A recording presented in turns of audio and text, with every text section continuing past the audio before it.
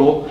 Uh, we're looking for companies that are, you know, in that early validation stage, maybe like post ID, you've got an idea, uh, ideally, and you're doing, you've done some market sort of validation of it, and you want to come and say what it's all about. It's a good opportunity for you to um, just practice your company elevator pitch in front of a live audience, whether you're going to use it for fundraising or uh, really anybody that you're trying to recruit to your company, whether it's a customer or an employee, um, uh, you, can't, you can't practice your, your pitch enough. Um, and you got a great audience here who's going to give you feedback, ask you questions. Um, that's what it's all about. Uh, let's see what else. Other thank yous to A2 Geeks. Uh, A2 Geeks helps make events like this happen. Coffee House Coders, uh, Arbor Ignite. Um, I think there's another one that they have going on this month. That's not coming to me. But they're just a great nonprofit in town that helps make this meetup possible. Um, I mentioned Roger from R2VIVE, who's doing our live streaming and recording. Has been doing it for quite some time and a number of other events in town. And then um, this space. So University of Michigan's entrepreneurship clinic at uh, University of Michigan Law um, has given us the space for over a year now, and we have it for the first half of next year. Just found out. So we'll continue to be here third Tuesday every month, 6:30. Uh, and as soon as I get people confirmed, I try to put it up on the meetup page um, so you can know who's presenting. So uh, mute your phone if you haven't yet. Uh, if you're going to tweet, use A2NewTech hashtag. And uh, first up, I'd like to welcome Julia Winter from Alchemie. Thank you.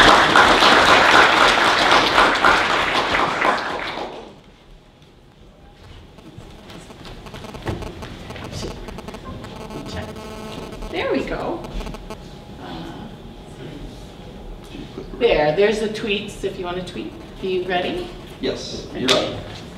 I'm Julia Winter, the CEO of Alchemie. We create mobile games for science. So higher education is in transition. Learning outcomes and student retention are now being measured and reported. Yet gateway courses, especially in science, are taught in large lecture halls where the descriptors for the learning that takes place haven't changed in decades. Yet students are able to learn at any time and any place. And those adjectives are completely different. This is the opportunity of Alchemie. We're creating the mobile, game-based learning tools for students, capturing the data from those tools, translating it back to the universities, and increasing learning outcomes for everyone. And we're starting first with what could be the toughest course in college, organic chemistry. It's this critical piece needed to move into careers in science and medicine, yet the fail rate for organic chemistry is between 40 and 50%. Career plans derail, confidence decline, and the pieces for students fall apart. For over 20 years, I've taught college level organic chemistry in class sizes of just 12 to 16 students. I know why students struggle, and I've learned to help them to succeed. My team and I are taking what I know and translating it into our games. Our first game, called Chairs, has been released for both iOS and Android. It takes a small concept taught at the beginning of the course and turns it into a puzzle game. With no marketing, we have over 8,500 users and professors and students worldwide called the game addictive and fun. We've done a classroom trial and it shows a big increase in learning of this small concept. If you want the game, you text CHEM, C-H-E-M, to 555-888. But it's still a very small part of the curriculum. The big idea in organic chemistry is called mechanisms. And our signature game is the mechanism game, and it spans the entire curriculum into graduate levels. We'll be layering in kinesthetic, audio, and visual cues into gameplay, making the theoretical touchable. That's our tagline. Our ideas are turning heads in the ed tech world. I just got back from Silicon Valley where I won a Digital Innovation and Learning Award, and we have an SBIR grant from the NSF to build out this big game and spin out four other puzzle games from the UX of the mechanism game. So, who are the students who take organic chemistry? Well, there are 800,000 students in the US, millions of more worldwide, and the general chemistry market is two and a half times as big as organic, and we've already started plans for games for that. Our revenue streams are threefold. We'll market direct to those students, but our big play early on is to go through universities and professors to through site licenses. We are also license our patented game technology to publishers, and we've already started those conversations with different publishers. But the real alchemy of Alchemie is the data. We'll be capturing that data, translating it back, giving it to the university so they can target struggling students before they fail. Our team is a great blend of youth and experience, old, and in business, game development, ed tech, and marketing. We have nine professors at eight universities on our advisory board and 60 more instructors and professors on our beta testing list. We'll start with organic chemistry and expand vertically into chemistry before tackling any other subjects. Our method works. We make the theoretical touchable. A tactile interface enhances intuition, but intuition comes from making mistakes. And the pieces come together for students because games make mistakes fun. So the Alchemie Games will help students succeed. Thank you very much. Oh, I talked too fast. I got 35 more seconds. Oh, man. Yeah, hey. So tweet away. Hey, whatever. I'd love to hear your questions. Check, check. Um, I don't know if these microphones work. I think they do if you're really loud. But Okay. um, yeah, so we'll take some questions um, and start right in the Yeah. middle. Hi, um, my cousin was taking organic chemistry this summer, and she was using a sort of interactive learning tool of some sort. Do you have any competitors that you Like know? sapling learning, probably? Yeah, I I would think so. We have lots of, we have competitors in the support market for sure because there's, there's a market there. But there's no one making games. And so that's where my developers are game designers and we're also, I'll, I'll pull them up. We're working with Schell Games of Pittsburgh to build the best beautiful games around. So we got Jesse Schell on board, and so we're going to be starting January 1 in Ann Arbor, and then the development team will be working out of the Schell Game Studio. Because there's not a lot of game design in higher ed. Yeah, hey, You mentioned uh, something about um, a, uh, a patent, maybe around the, the particular mechanism you're using to uh, teach chemistry through games. Could you talk a little bit about the defensibility? Well, that's where my, our patent attorney, he's got a PhD in organic chemistry from Harvard and, and whatever. He, when he saw what we did, it's not on code, it's on the interaction. And so chairs has a little, I mean, it's, I mean, nobody's gonna go and make a chair game, but he, we showed how to patent the chair interaction. And then the other one is on the tactile learning for chemistry, bringing a tactile approach to teaching and bringing in user experience and kinesthetic cues to teach organic chemistry. It hasn't been issued yet, but we have, we've, it's been published, but we'll see what the, what it comes back with the claims and stuff like that. So, I mean, he made the claims, we'll see what happens once the examiners come back with that. Yes, Uh, How long ago did you file? uh, well, a year ago for chairs, six months ago, we just got, we just published on the mechanism game patent. So any day now, I mean, he's a pretty, pretty good patent attorney, I don't know what's going on, I'll just let him do his thing. Yeah, I always Yeah. heard that if, if you get a patent accepted immediately, you should fire your patent attorney because he didn't cover enough claims. to Oh, argue. okay, no, That's this guy, he, he's awesome. He's at Brooks Kushman. He's, his chemistry is his specialty. Yes. Um, with game comes the scores. Any uh, extension to grading? You know, that's part of the platform, like our phase two of the SBIR will be building the data platform. And it wouldn't be the grading, would be formative assessment to give back to the professors. So the, the students can play their games and actually students freak out about this because they're like, no, I want to play the game for fun. So you probably have to have a switch. This is the formative assessment side and this is the gameplay side. And that will get back to, that's the plan with the data piece. And we're watching students learn at a really small grain size. So this, this is where the ed tech people are really excited because we're going to be collecting data as students make sense of a concept, which is a really cool thing, but it's a lot of data. So that's where we have to be really mindful as we build that. Yes.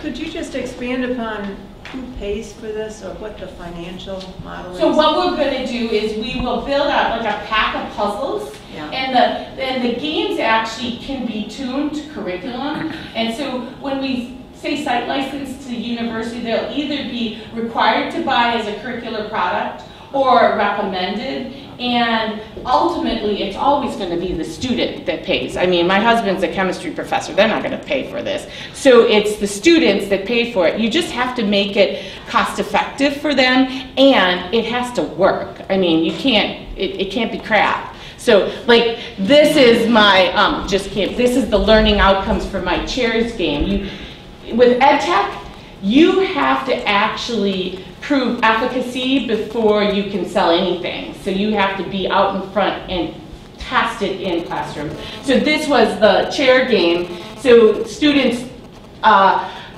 I taught the concept and then gave them a quiz, and those who hadn't played the game at home scored zero through four. Most of them, it was pretty divided throughout the pie. Whereas if they played the game, they scored far higher, and then they played throughout the class period and took the quiz again. So that's one of the things with ed tech. You have to be, you have to make, have it be a learning experience before you can sell it. Yeah. Um, Is this uh, learning concept applicable to other subjects? Well, it has, you know, I I've struggled with general chem, I've been teaching AP chem for as many years as organic. You have to come up with the conceptual pieces, not the mathematical pieces. So it has to be subjects that can fit into that mold. Like physics would work fine, we could do physics. People have said we could do stats and econ, but I'm not a stats and econ person, so I don't know that. But yes, I think so. Thank you. Great question.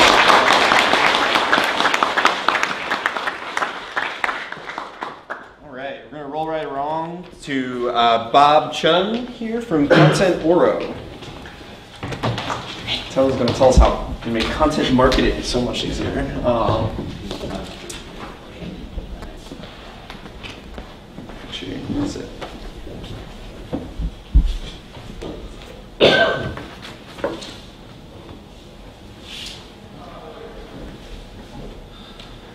I knew I should have brought a clicker, but I didn't, so I'm just gonna stand back here. No, it's okay, it would take me forever to set it up. All right.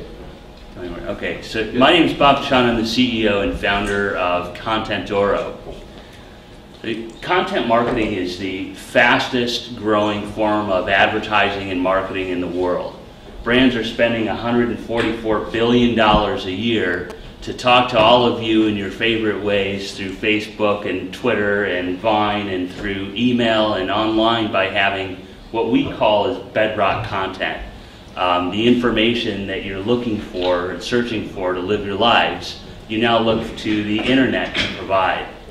Um, the advantage to the advantage to businesses uh, for having this content on their websites is they get to sell you something.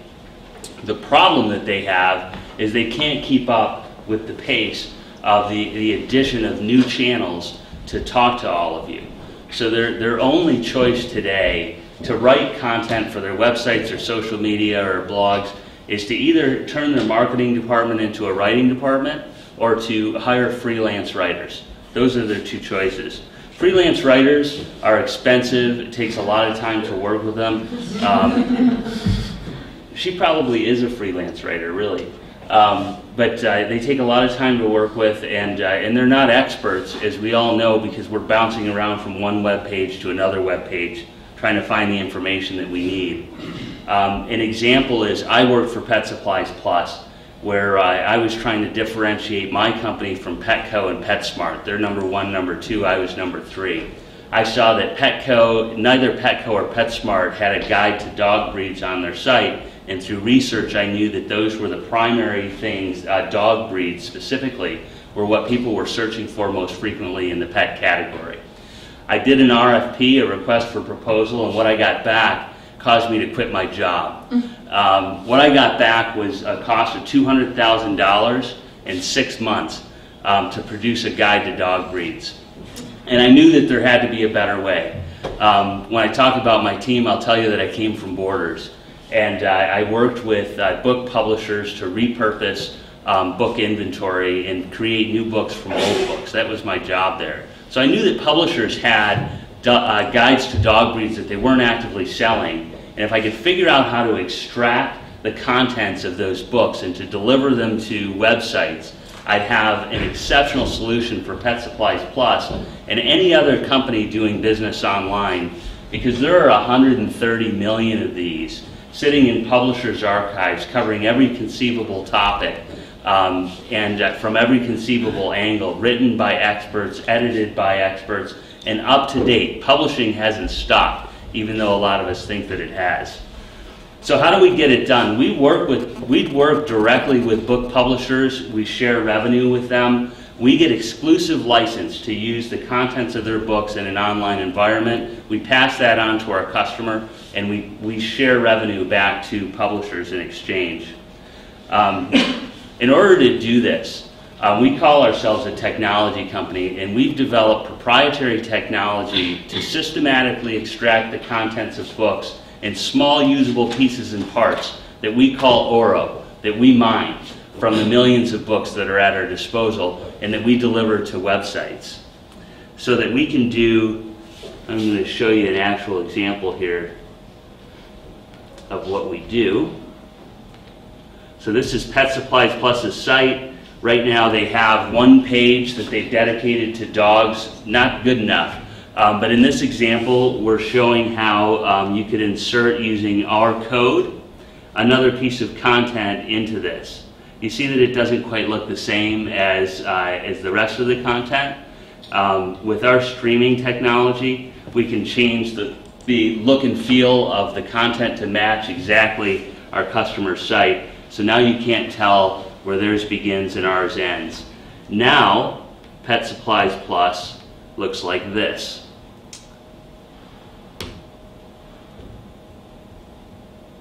I don't know how I did that. These are the problems with live demos, right? And so we're covering every speci- every breed of dog that exists for Pet Supplies Plus. They're having that streamed to their website. It happens in about uh, an hour versus uh, six months or a year. It costs Pet Supplies Plus around $10,000 instead of $200,000. And I'm going to beep here in a short second. This is a site that we built out with, uh, oh, there we go. So, questions?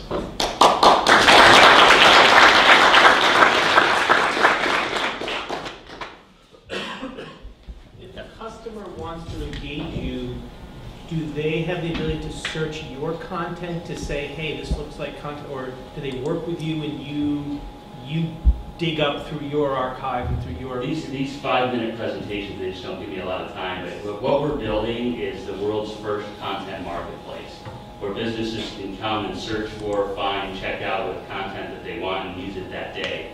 It's the, it's taking getting images and applying it to written content. Um, do you do something in the air, something in the areas of transportation and taxation?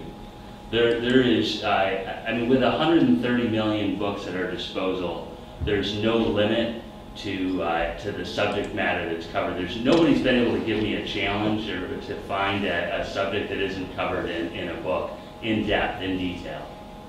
So yes.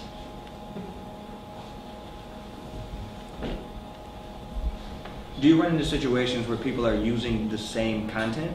Like, if I was like mining, like I'm doing dogs, he's doing dogs, he pulls up something, would could we be duplicating the same information? No. Um, we only give one piece of content to one customer at a time to avoid, avoid uh, having duplicate content on the web, which is, which is uh, uh, Google punishes you for. Um, so they're, they're literally, you know, Google drives 64% of all website traffic. The advantage we're bringing to businesses is deep authoritative content that fits Google's mission very specifically. Um, and we do that by assigning exclusive license to our content for one customer at a time. Do you, um, how long are the licenses usually then? So anywhere, um, our agreements with publishers are, they're giving us exclusive rights to the content for a three-year period. Um, that automatically renews, so, so our customers can have access to it for up to 21 years. Uh, How does the digitization uh, happen? So. Are these so- already ebooks or? We take a, we, we can work anywhere from a physical book or a PDF or, or an EPUB file. And uh, Yelchin Yanakoglu, who's here with me today, designed software to extract the contents of those digital files uh, by looking at first a paragraph, and then we build back up into an intelligent piece of, of content, like a recipe or, or a dog breed or instructions to change your oil or um, the, the uh, attributes of red blood cells. Um, you know, so, so we're taking uh, paragraphs and building it back up into something that's uh, substantial and meaningful. Would you provide um, the option for links back to the book to promote the book, sort of as part of the compensation? We do, we offer that um, to, to our, our customers and to the publishers, so if it fits everybody's uh, desires, then we can do that.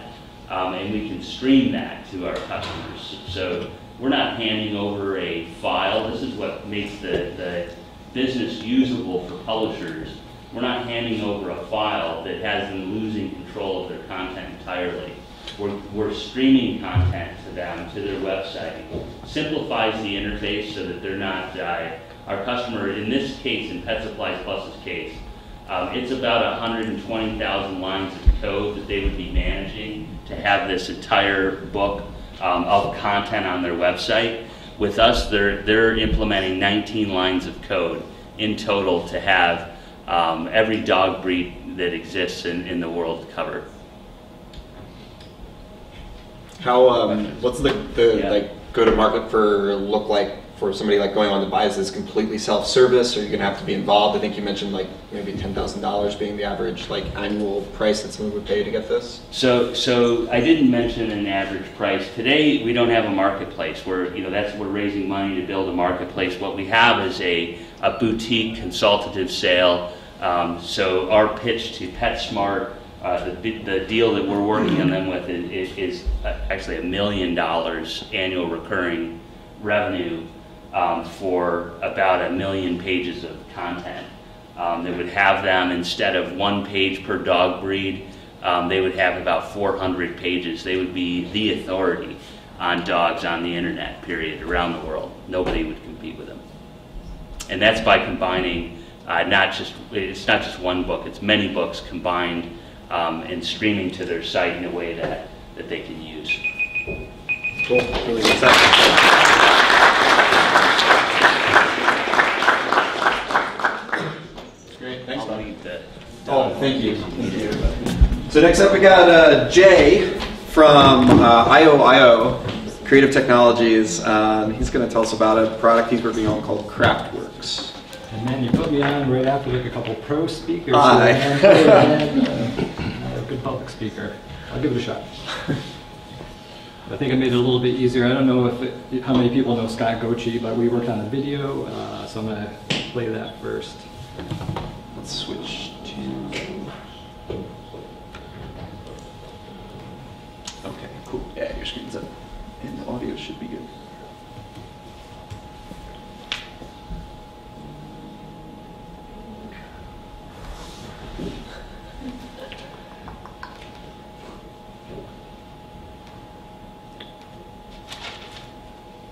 Are you tired of navigating through dozens and dozens of menus just to get that one feature you need? Are you sick of learning long, complicated key bindings that you'll never remember? Wish the way you interacted with your personal computer was a bit more personal? Introducing Craftworks, a new way to interact with hardware and software. Everyone remembers those space-age user interfaces you saw in science fiction, right? Well, we brought that technology into the present age, allowing you to create custom UIs that let you do all sorts of things. Normally, creating music can involve thousands of dollars of equipment and clutter your workstation. Now, all these user interfaces can live in one device, saving you tons of money and your sanity. Craftworks comes jam-packed with pre-existing user interfaces, from crazy pianos to remote controls for your television. But if you don't find one you like, with our custom editor, you can create your own, even using a drag and drop interface. Craftworks has all types of uses. Use it for gaming. Use it for 3D modeling. You can even use it to set the mood on that special night. The possibilities are endless. Order yours today and never interact with menus again. This is of iOiO, an Ann Arbor-based company. While the infomercial may be a joke, this product is real and is awesome. Try us today. So first of all, like hands off to like Scott.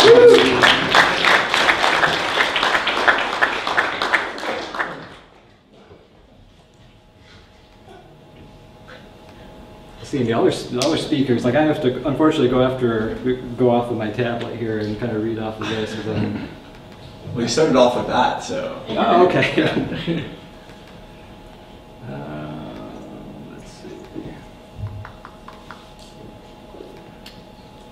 Okay. I guess that, okay. So uh, uh, QE started out as a maker project about three years ago. Uh, we needed to design a keyboard, or music keyboard, for an electronics project for a summer camp for kids, where we could teach them, uh, where we teach them electronics under the guise of music. It's a program that a small group of educators and I were piloting at a community center in Detroit.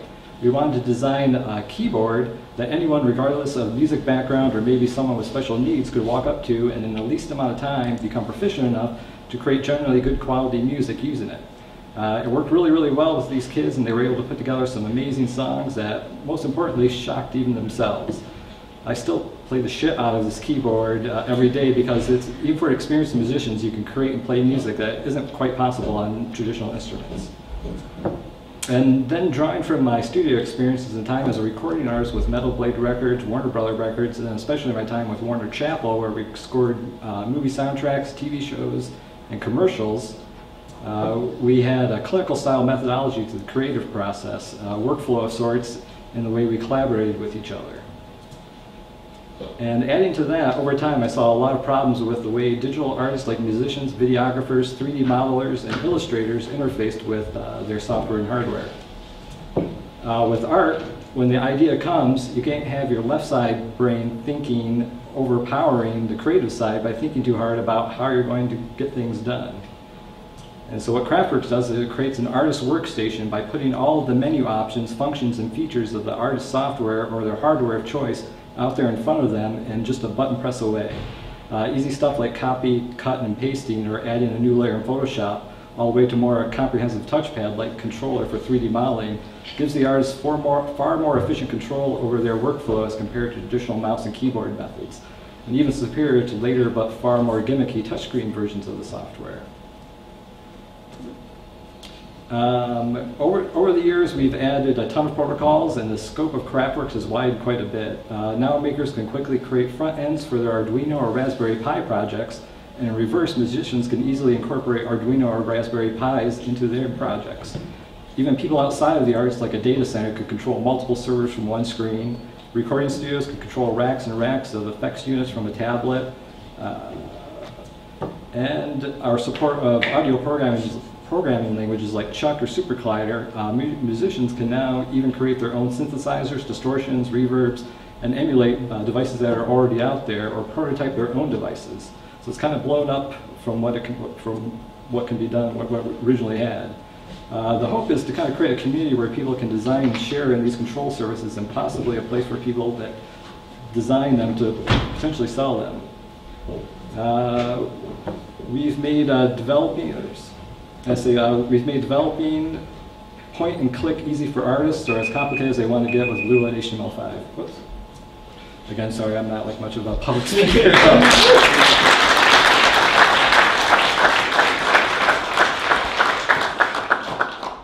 That's great.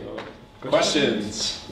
What platforms are the tablets or? Uh, well, it's all Windows based uh, because like like uh, like uh, oh, uh, like iOS and Android don't support like a bunch of different protocols, so we kind of have to limit it to like the Windows device, which has like a really broad protocol support.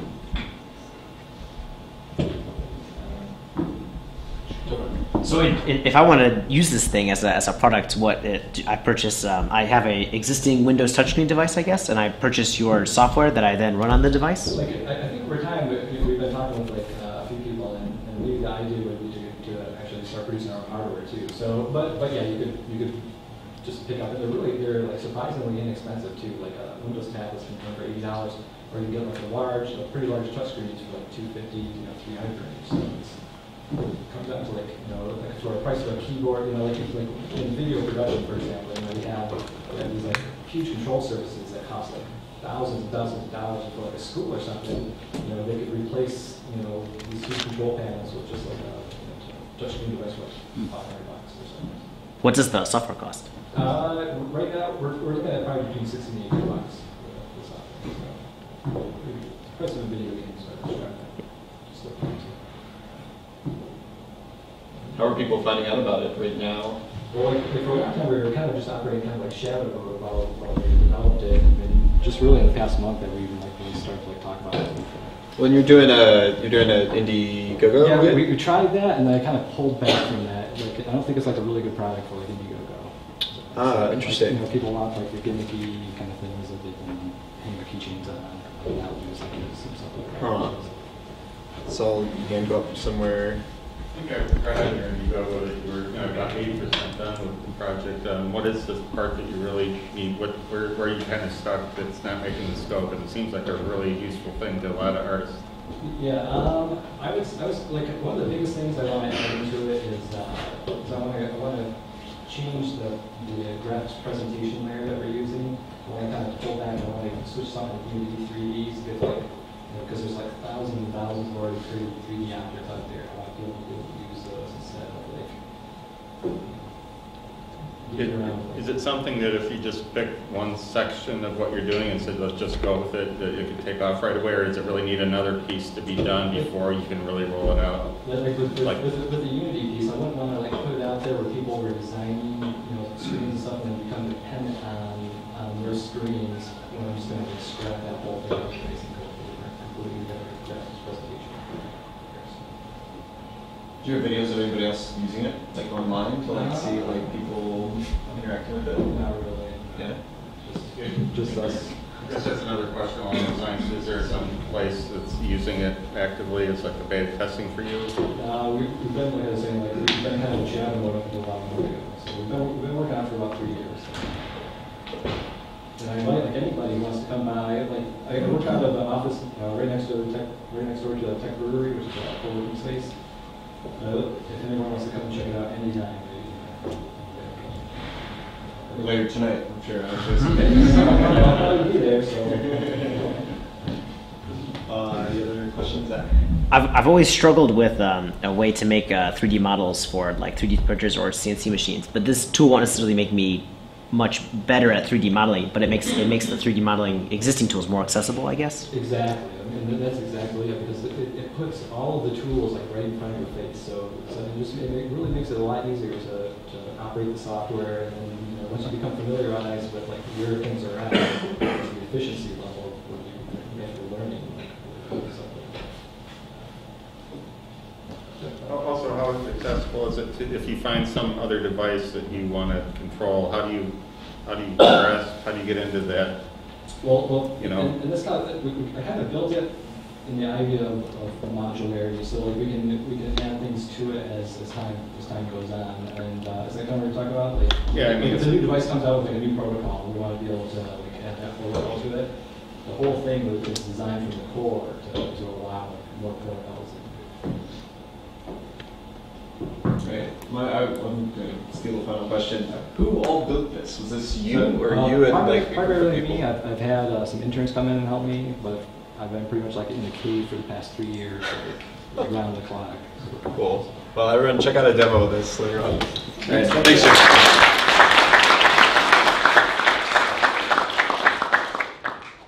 Going from one interesting piece of software to the next, uh, now I'd like to welcome uh, Te Phan down. Um, for those who don't know, Tay's day job is running Ginger Deli downtown on, on Liberty. Uh, and this is a uh, sandwich anytime. He's gonna show us uh, I, I, another project he's been working on when he's not making delicious banh mi. Uh, and I'm gonna get this preset set up here in just a minute.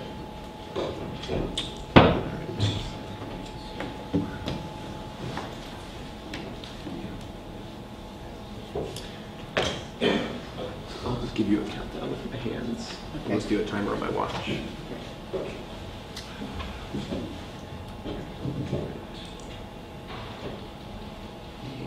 And you're up. Hello, thank you for having us here tonight. My name is Te Phan, and I'm very excited to present to you Bride Vue. BrightView is a visualization tool for venues and vendors to collaborate with brides to plan their dream wedding. Uh, weddings are magical, aren't they? They're a time where you and the closest people to you come together to celebrate this special moment, right? It's a day they will never forget. Well, um, so what problem are we solving here exactly?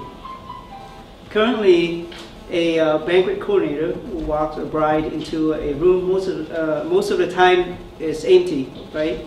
And uh, uh, they say, imagine having your uh, weddings here. Um, let's put a table over here, let's put a dance floor over there, let's play with these uh, color scheme. Well, as she expressing all these ideas and expect the brides to be able to visualize it. Well, the problem is the bride's not able to see it or imagine it. So the only way to communicate visually is to look at a bunch of uh, magazines or go on uh, Pinterest and look at more pictures of other people's event. So this would take a lot of time. Um, the bride is more confused and overwhelmed and uh, cannot make a decision because she can't visualize her event in the room. And in turn, the coordinator not able, able to close the sales. We know this problem because we have lived uh, the past 15 years as vendors and also business owner in the uh, event industry. There's a need for a visualization tool that will help uh, solve these uh, communications and uh, planning issues. With Bride Vue, you can do exactly that, and let me show you uh, how that works. Okay, so here, let's pick a room um, uh, let's, that you want to have the event in, and this is St. John in Plymouth, Michigan. It's a beautiful banquet room, and let's set up the uh, table first, okay? You can pick and choose uh, different type of tablecloth. Okay, you'll be able to pick different texture, fabric, colors. Again, zoom up, you can see the details of the table. Let's uh, choose a uh, chair. Okay, let's pick a um, seat cushion red. All right, since it's near Christmas time, I, I think it's appropriate. Okay, let's pick a uh, plate setting. Okay, and uh, you can choose, uh, let's say, a hunter green uh, uh, napkins. All right, let's pick a floor arrangement. Okay, and now let's zoom back. Right, and all appears beautiful. Okay, and you be able to, let's see, change uh, table configuration. All right, different layout. You can take a uh, snapshot and be able to send it to a wedding planner or a friend. Right, and let's go back. Okay, and uh, you'll be able to change the layout of the table. You can uh, put the mother-in-law table over here if uh, right? Rotate the table, uh, take out a dance floor, and see it in 3D. Is that awesome or what? Okay?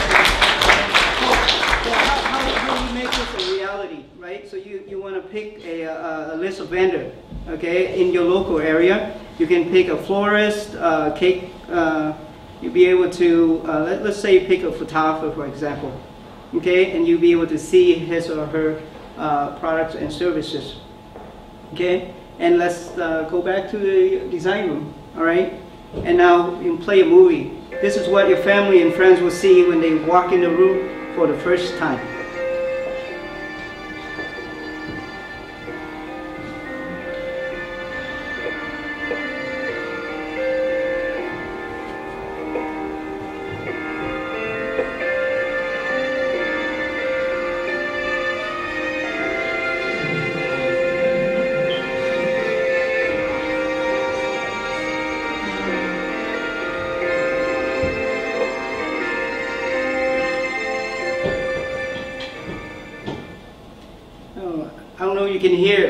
Hope you can feel the emotion, right? I told you weddings are magical, right? So um, I'm grateful to have the opportunity to work with super talented team made up of uh, CG artists, and uh, they work. Okay, well, I'll tell you more after after this, but thank you.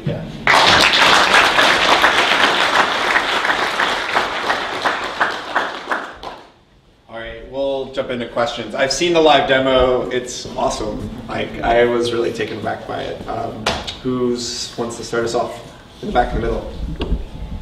Hi, um, do you have a, a target audience? I would guess it would be the venues, but it sounded like you were talking more like the brides, so I'm just curious about that and if you have a pricing model Um, plan yet. Right now, we are targeting uh, banquet uh, venue, yeah, banquet facility, and uh, that's our main target, and vendors. Follow-up, quick follow- follow-up. Um, how do you make sure that you have like what they actually have? I mean, you were showing like 20 colors of seats, and I'm pretty sure most venues don't necessarily. Yeah, so, so that's a good question. Every day, we um, put in our virtual inventory, and we are adding more and more every day. So eventually, there's all kinds of things that you'll be able to find uh, in that database. Technically, when you add a venue, how do you, how do you do that? Do you go in with a tape measure and start measuring the walls? I mean, how do you, do you already videotape it and then it gets created into this, or how? It- it- It's like, uh, it's like making a movie. Uh, uh, Our digital artists are from the uh, movie industry that works with Peter Jackson on the Lord of the Rings trilogy. Um, You know, King Kong, and you know, so that's how this was possible. So we take pictures and measurement, and then we, we would uh, model it.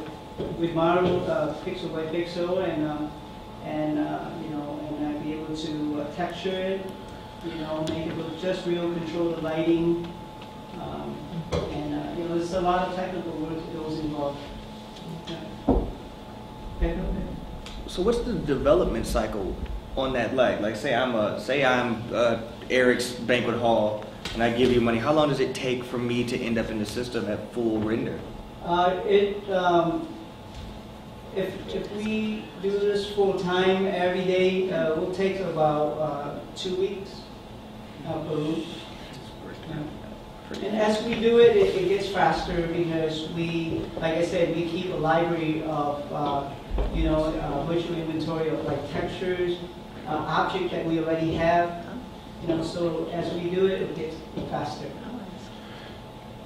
After a venue gets set up like that in two weeks, are they able to use your software to export movies for promotional purposes? That's, that's the whole idea, um, is that they, um, brides will be able to see it, uh, you know, using their iPhone or uh, Androids or um, iPad, and uh, they'll be able to access the room. So the banquet coordinator will be able to use the tool to uh, help the bride visualize it, a bride will be able to visualize it and be able to communicate with the uh, banquet coordinator. I would presume that it would be the bride more often than the groom that would be visualizing it. So how come you don't have more women on your team? Maybe you can be the first. Yeah, and you know what, another funny thing is none of us are married.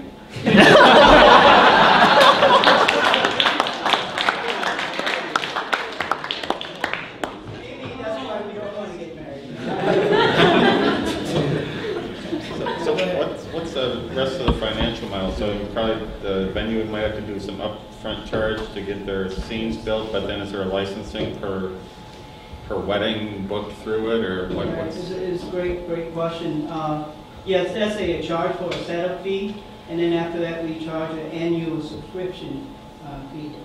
And uh, we do the same for the vendors as well. Yeah, so it's interesting cap- capturing the internal, you know, three uh, internal map. You, there's also there's a company that started out of Ann Arbor, that's in Boulder now, called uh, Occipital, but they have a, a product called Structure. If you look up Structure.io, you can basically scan this entire room in minutes Oh, wow. with, a, with a camera, and it'll capture the full. But check, check out Structure.io. Yeah, I I will, that's great, that that will improve the time, uh, you know, much quicker, that's very important. Yeah, thanks for that, Doug. And you, uh, I just, I'll, I'll play right because we had talked before. Like, uh, you came from the event planning industry, and so you saw actually this like gap being Yeah. there. So that's like might not be married, but you saw this problem existing that, especially venues that are far away, people couldn't see. So is that you finding that, that that's working well so Yeah, far? For yeah. So we currently we are working with uh, the Marriott uh, hotel chain, and uh, uh, so that's very exciting for us. Uh, so we have a lot of rooms to do with them. Yeah. Thank you.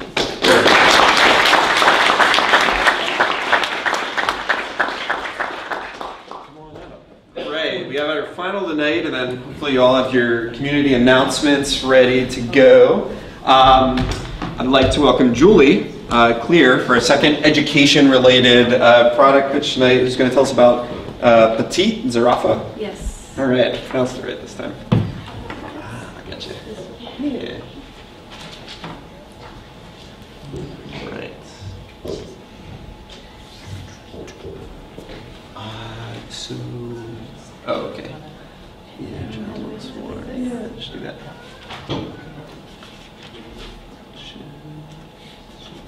Perfect. Good. You're good. Okay. Well, uh, bonsoir, salam, and good evening. Uh, thank you so much for having me here. I'm a little nervous, um, but I'm really excited to introduce our education technology startup, which is called Petit Zarafa. And essentially, what we're doing is empowering little ones to learn a second language through multi-sensory play. Um,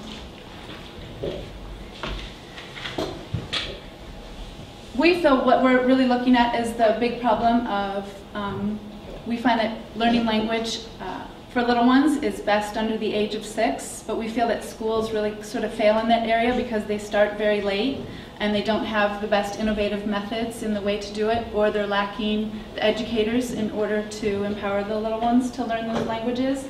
Second to that, um, if parents are interested in teaching a second language to their child, they turn towards apps or towards DVDs, which increases uh, screen time for little ones. And I think we can all agree that I think there's just an overabundance of screen time for little ones, which isn't always necessarily the best effective way for learning. Um, so we feel that's, that's a big problem that we are looking to solve. Um, and our solution for that is uh, what we consider Duolingo meets Montessori, and we're really combining the best in early education practices with the best in technology. So we've got a, a ton of uh, hands-on activities for the children because we really feel they need to develop those motor skills. It's essential to them. And then pairing that with the second language. So we're incorporating that learning time, really enhancing that learning time. Um, and then we're using the technology as the reinforcement. It's not the only sole solution for the learning, but it's there as the reinforcement for the child through um, the listening and through the games, and then to help keep the caregiver uh, organized, as, and the caregiver and the child organized and motivated. And I'll show you a quick demo. Petit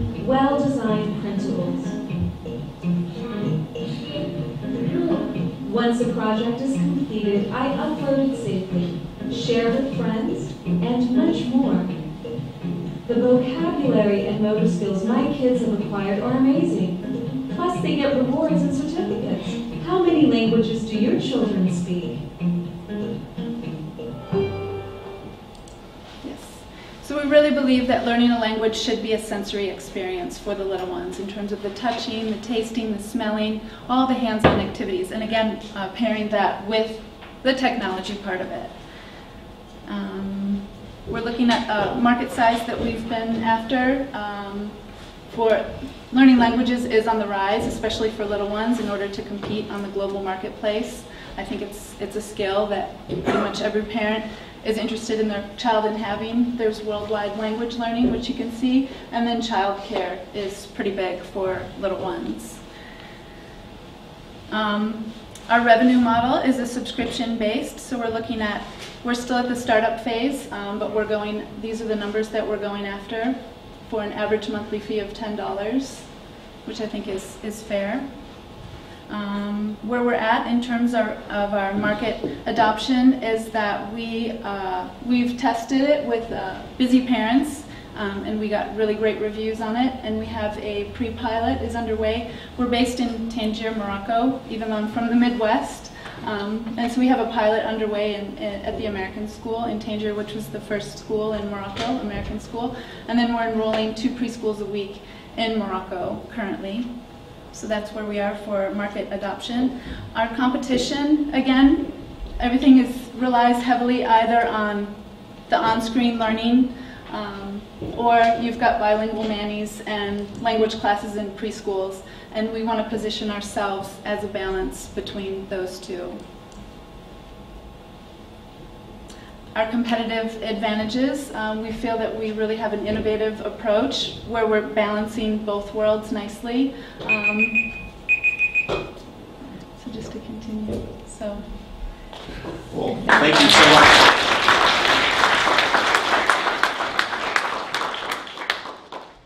I have a little kid, so I would love. I, I think I said to Julia when I saw this that like I would I want it. Can I use it? it's a great idea. Uh, let's ask some questions. Yes. Back. So your multi-sensory um, feature, I guess, or whatever you're calling it up there. I saw Play-Doh. I saw a lot of cutouts, scissors, paper. I mean, are, are those are those things that could potentially be an upsell that they could they could purchase through your organization? Because, for instance, I mean, I'm I'm lazy, right? Like I don't want to go to Right. the store and buy all these arts and crafts kinds of things, mm-hmm. but I have money, so I would rather just buy it and then have it delivered to me. That's something, that's a good question, and it's something that we've considered as well, of prepa- pre-preparing those kits so they're just sort of ready to go. Again, it's an inventory question, we want to see how we really want to focus our time of just driving and building really good content, and then we'll see if there's the demand, because that's such a busy, that's such a busy space as well.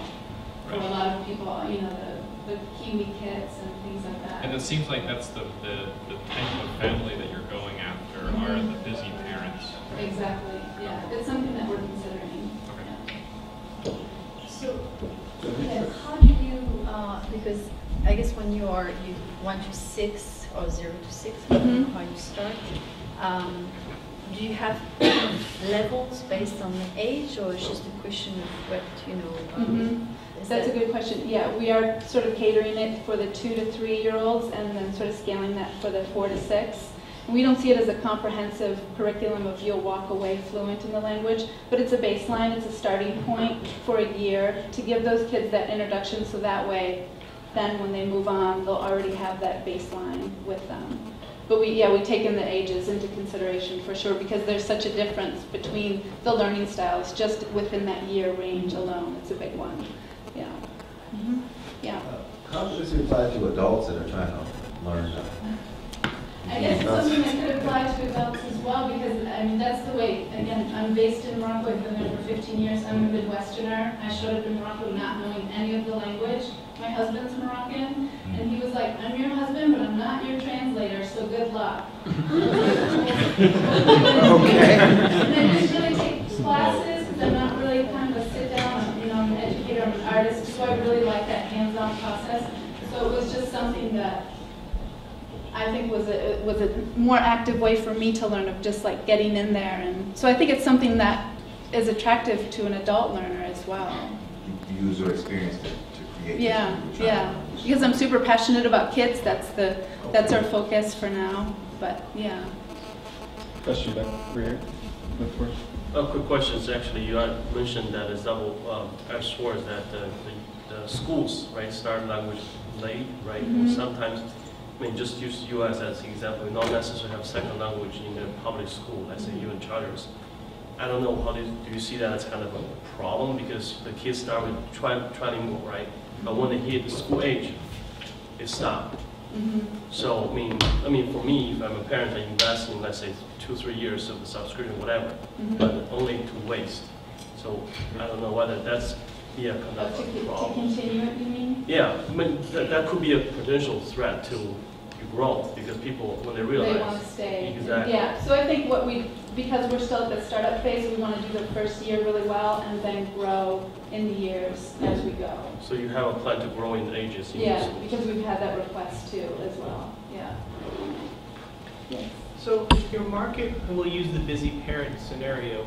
And so my subscription is buying into your content, into your curriculum, into your Mhm. guidance. And I'm just trying to balance between if you're a busy parent already, the investment and time to do this. I'm trying to balance this, Sure. you know, that it, I don't even know how to word the question other than there's, there, there is an, an investment I have to make in your content, following the curriculum and doing these things. And so I'm just saying, does that kind of against that busy parent? Which is, I think, is a great question, and it's also one, I think, when you're specifically looking at this age, age two to six, those kids are with someone anyway, and they need a lot of hands-on attention. So there's someone who's investing that time regardless, whether it's a caregiver, a nanny, or that parent. So we want to help that parent get really organized.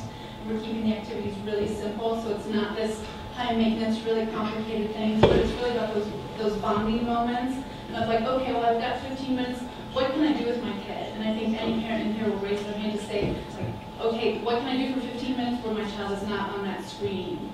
Where I can do something that's really meaningful and sort of build the bonds that way. Because I think it can happen in those small moments. It doesn't need to be this real high maintenance thing. Cool. Have one more question? Is it web-based only or apps or? It's web-based for now, mhm. and it's respon and the site that we have, it's responsive. So hopefully we'll get to the app stage. Yes. Thank you, Okay. Joe.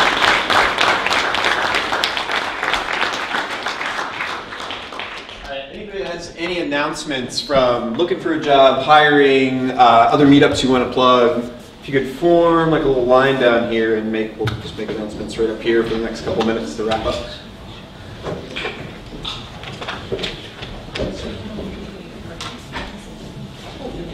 And really, anything anything goes. It's uh, it's a unique opportunity about to blast out here, and then if you want to also do it, come over here. You can also mention it on the comments in the meetup group, and that will get sent out to everybody. Um, so start us off. Cool. Uh, hey everybody, I know some of you, but not all of you. Um, I'm Nick Oliverio. I work at OLARC. Um, back over the summer, I helped found a Ann Arbor CX meetup um, that's been going pretty well. Um, and in about September, we started talking about wouldn't it be cool to do a conference to bring a community like this together over a longer period of time than just you know during this meetup. Uh, so I've been working in secret, uh, or mostly in secret. We just decided in the last like week that this idea is far enough along and it's not going to be a colossal failure uh, that we can tell people about it. And I'm really excited. Uh, so myself, a team from uh, Duo, some folks from Nutshell, and Farmlogs have been working to put together this conference. Uh, we're calling it Mitten State of the Art. It's going to be May 13th and 14th of 2016. Uh, and we're super, ex- like I said, super excited. Um, and there are, you know, are going to be details to follow, but if that sounds like something that is cool to you or not cool and you think it's a terrible idea and we should change our minds, uh, let me know. I'll be in the back there. Uh, yeah, thanks. What's the date again? May 13th and 14th. And it's about? Uh, it, well, that's, a, that's a good question. I didn't really mention that. Um, so there's sort of these two communities in Ann Arbor. There's a tech community and there's an arts community, a more you know traditional towny community. And we want to bring these two groups of people together because we think there's a lot of information that they can share. So the creative community. Yeah, absolutely. Um, yeah, cool. Good question. Thanks.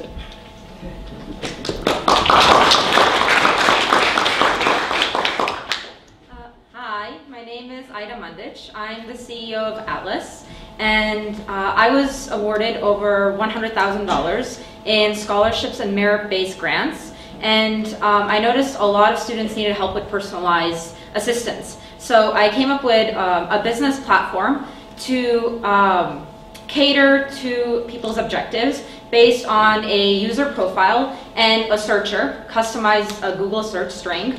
And there's currently over 60 components to the site. Um, and I'm looking for a web developer because my background is in women's studies and business entrepreneurship. So I'm not, uh, I'm not a techie. Um, and yeah, my email is idam at umich.edu. And yeah, that's my website.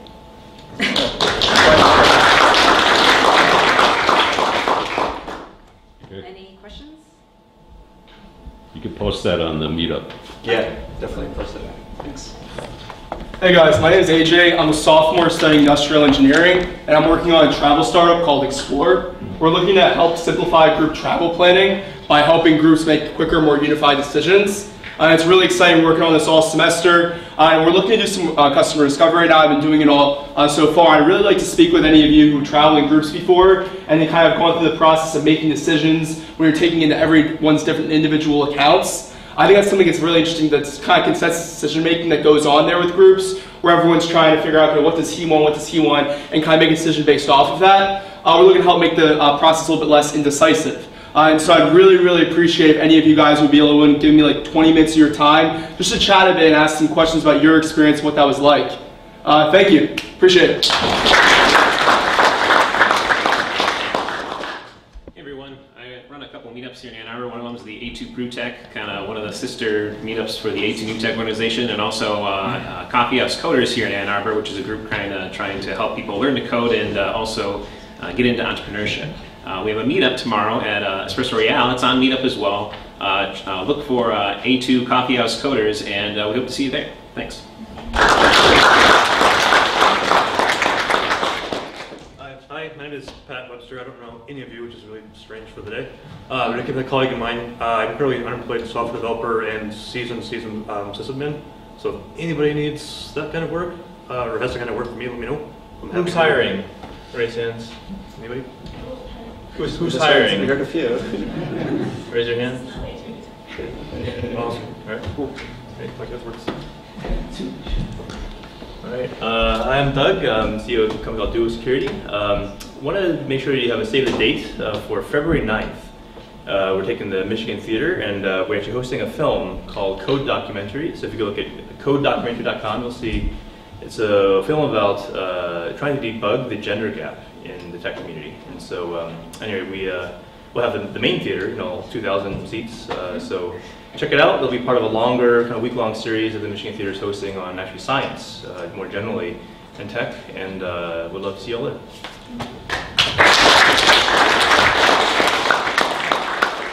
I think that's the, the wrap for the evening. Um, awesome presentations. Thank you all our presenters. They were really, really great presentations tonight. Um, we, uh, we always wander over to Pizza House, uh, just a couple blocks away. After this, feel free to mingle, talk to some of the presenters here. And um, uh, anyone who you know saw these pitches and thought they might know someone who might be good to pitch picture, organizers at a2newtech.org. And uh, thank you so much for coming out.